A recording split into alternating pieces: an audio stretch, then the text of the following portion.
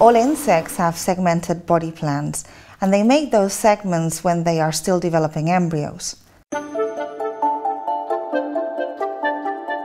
The first way, a more ancestral way, is to make them one by one or sequentially, so adding one after another. The other way of making segments is to make them all at once by simultaneously subdividing the entire embryo length. Even though these two ways of making segments are as different as can be, it seems quite easy for evolution to switch between one and another.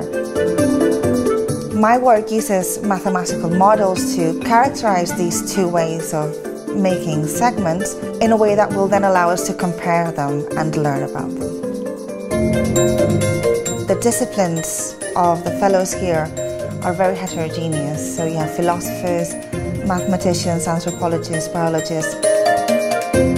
It is very interesting to see how these different people approach these problems from different angles and personally I think that's the way that science should be done.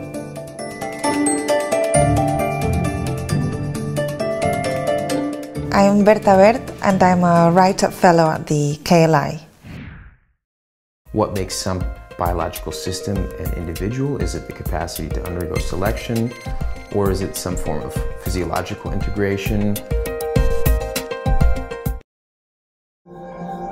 And then I'm trying to apply these extended tools in order to describe and explain the huge diversity that emerges with multicellularity.